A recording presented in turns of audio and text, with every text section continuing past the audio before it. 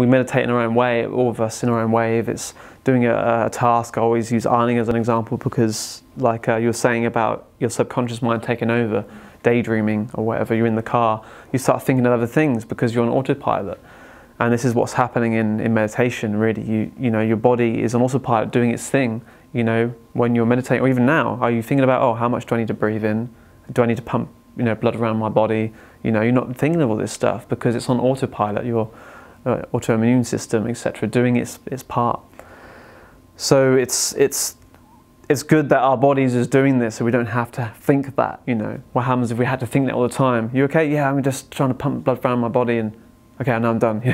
it's like now we can use a lot of that mind energy and be in, in silence. And even me cutting the grass here, Cut the grass, and like I was on a little go kart and everything, coming out laughing at me on the, on the path.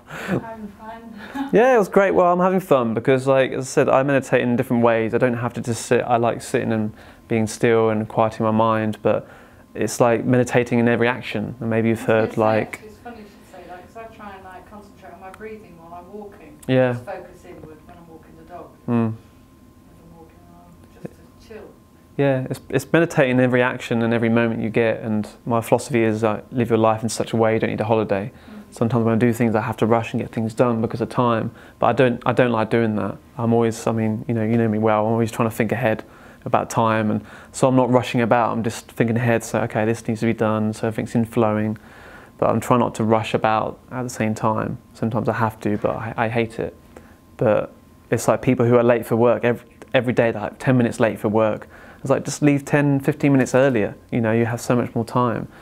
Um, yeah.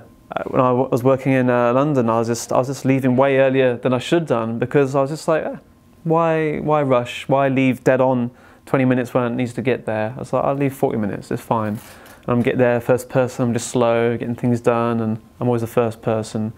And you know, there comes a day where there's traffic or something. It's like, ah, oh, it's okay, I'm fine. And everyone else around is, is rushing.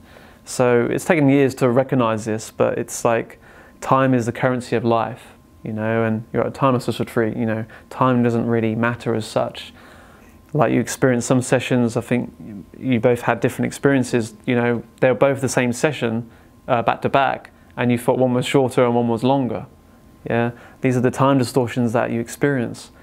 Um, I say, you know, we've been here for a week and it feels longer. and uh, sometimes it can, it can, feel shorter, go faster. Doesn't mean that, you know, having, having fun and doing stuff. It's just for some reason it's the energy here as well. You know, we're out away from reality, we don't know what's going on in the world, which is good in a sense, we can break away. That's probably why I love it here so much myself. Not the fact it's my home and, you know, retreat centre that we live and work from and do things, but it's like, it's very peaceful and quiet and yeah, the only thing I see different is that I haven't seen the tractors do that to the field in, in ages. You know, it's just, oh, that's, that's new and at the back we see the cows, but that's the only change we see. So you're in your own internal setting basically. Um,